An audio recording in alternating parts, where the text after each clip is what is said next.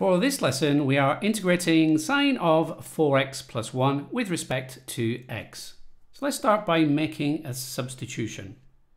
We'll say let u equal 4x plus 1. Now I can go ahead and differentiate that. So du by dx, well that's just going to be equal to 4. And I can rearrange this to find what dx is.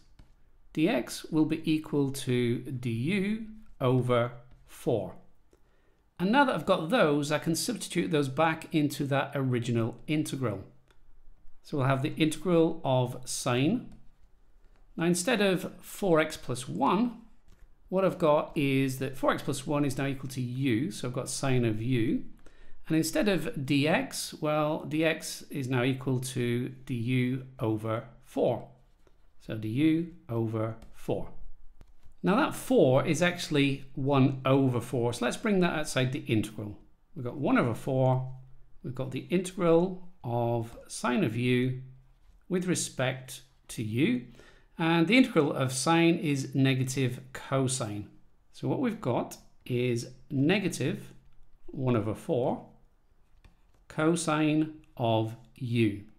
Now we know that u is actually 4x plus 1. So let's substitute that back in to give negative 1 over 4 cosine of 4x plus 1.